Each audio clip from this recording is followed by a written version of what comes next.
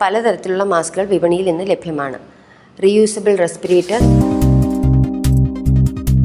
N ninety five mask surgical mask triple layer mask double layer mask തുണി കൊണ്ടുള്ള mask ഈ തരം മാസ്കുകൾ വിപണിയിൽ ലഭ്യമാണ്. ഇതിൽ reusable respirator N ninety five mask surgical mask triple layer mask എന്നിവ രോഗീ പരിചരണത്തിൽ ഏർപ്പെടുന്ന ആരോഗ്യ പ്രവർത്തകർ ധരിക്കുന്നവയാണ്.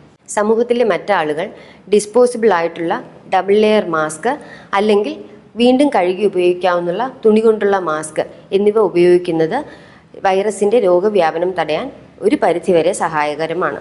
മാസ്ക് ഉപയോഗിക്കുന്നതിന് മുമ്പ് ശ്രദ്ധിക്കേണ്ട കാര്യങ്ങൾ എന്തൊക്കെയാണെന്ന് നമുക്ക് നോക്കാം. ഒരു മാസ്ക് ഉപയോഗിക്കാവുന്ന പരമാവധി സമയം ആറ് മണിക്കൂറാണ്.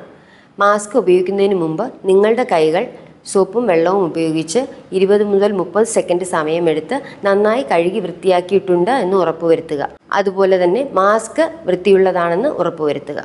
രണ്ട് വയസ്സിന് താഴെയുള്ള കുട്ടികൾ ശ്വസന പ്രശ്നങ്ങളുള്ളവർ മറ്റൊരാളുടെ സഹായം കൂടാതെ മാസ്ക് മാറ്റാൻ കഴിയാത്ത ആൾക്കാർ ഉദാഹരണത്തിന് അബോധാവസ്ഥയിലുള്ളവർ എന്നിവർക്ക് മാസ്ക് വെച്ചു കൊടുക്കരുത്. ഇനി നമുക്ക് എങ്ങനെയാണ് മാസ്ക് ധരിക്കേണ്ടതെന്ന് നോക്കാം.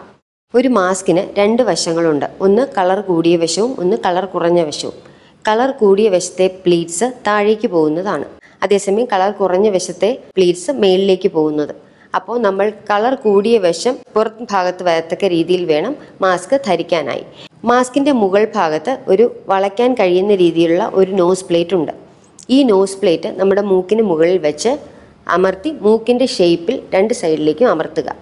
അതിനുശേഷം മാസ്കിന്റെ മുകളിലത്തെ ചരട് തലയ്ക്ക് മുകളിൽ വരത്തക്ക രീതിയിലും താഴത്തെ ചരട് കഴുത്തിൽ വരത്തക്ക രീതിയിലും കെട്ടുക.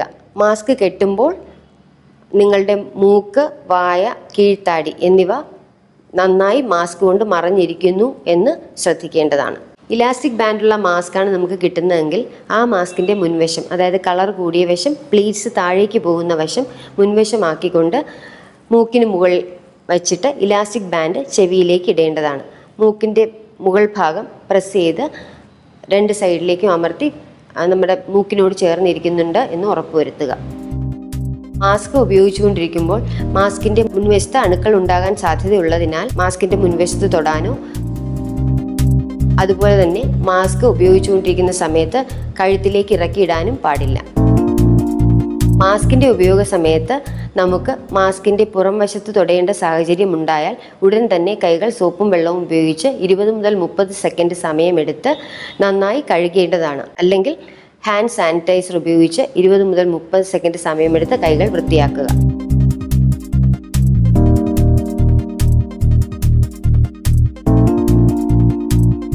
മാസ്ക് അഡ്ജസ്റ്റ് ചെയ്യേണ്ടതുണ്ടെങ്കിൽ ഇലാസ്റ്റിക് ബാൻഡിൽ പിടിച്ച് അല്ലെങ്കിൽ മാസ്കിന്റെ ചരടിൽ പിടിച്ച് മാത്രം മാസ്ക് അഡ്ജസ്റ്റ് ചെയ്യുക.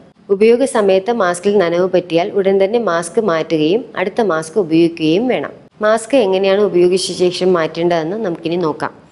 മാസ്ക് മാറ്റുമ്പോൾ മാസ്കിന്റെ മുൻവശത്തോ മറ്റു വശങ്ങളിലോ തൊടാൻ പാടില്ല. കഴുത്തിലെ ചരട് ഒന്നാമതും തലയ്ക്ക് മുകളിലെ ചരട് രണ്ടാമതും മാറ്റുക. മാസ്ക് മാറ്റിയ ശേഷം ഉടൻ തന്നെ കൈകൾ സോപ്പും വെള്ളവും ഉപയോഗിച്ച് കുറഞ്ഞത് ഇരുപത് മുതൽ മുപ്പത് സെക്കൻഡ് സമയമെടുത്ത് കഴുകി വൃത്തിയാക്കേണ്ടതാണ്. ഡിസ്പോസിബിൾ മാസ്ക് ഉപയോഗിച്ച ശേഷം കത്തിച്ച് കളയേണ്ടതാണ്. തുണി മാസ്ക് ഉപയോഗിക്കുമ്പോൾ തുണി മാസ്ക് വൃത്തിയുള്ളതാണെന്ന് ഉറപ്പുവരുത്തണം. അതുപോലെ തുണി മാസ്ക് രണ്ട് ലെയറുള്ള തുണി കൊണ്ടാണ് ഉണ്ടാക്കിയിരിക്കുന്നതെന്നും ഉറപ്പുവരുത്തുക. തുണി മാസ്ക് ഉപയോഗിച്ച ശേഷം ഉടൻ തന്നെ തുണി മാസ്ക് ചെറു ചൂടുവെള്ളത്തിൽ സോപ്പ് ഉപയോഗിച്ച് നന്നായി കഴുകി ശരിയായ സൂര്യപ്രകാശം കിട്ടുന്ന സ്ഥലത്ത് കുറഞ്ഞത് അഞ്ച് മണിക്കൂറെങ്കിലും ഇട്ട് ഉണക്കേണ്ടതാണ്. അതിനുശേഷം തുണി മാസ്ക് വീണ്ടും ഉപയോഗിക്കാവുന്നതാണ്. സൂര്യപ്രകാശം ലഭിക്കാത്ത സാഹചര്യത്തിൽ ഒരു പ്രഷർ കുക്കറിലെ വെള്ളത്തിൽ പത്ത് മിനിറ്റെങ്കിലും പ്രഷർ ബോയിൽ ചെയ്തതിന് ശേഷം ഉണക്കി ഉപയോഗിക്കാവുന്നതാണ്. അതും സാധ്യമല്ലെങ്കിൽ നന്നായി കഴുകി ഉണക്കിയ മാസ്ക് അഞ്ച് മിനിറ്റെങ്കിലും എടുത്ത് ഇസ്തിരിപ്പെട്ടി ഉപയോഗിച്ച് തേച്ചതിന് ശേഷം ഉപയോഗിക്കാവുന്നതാണ്.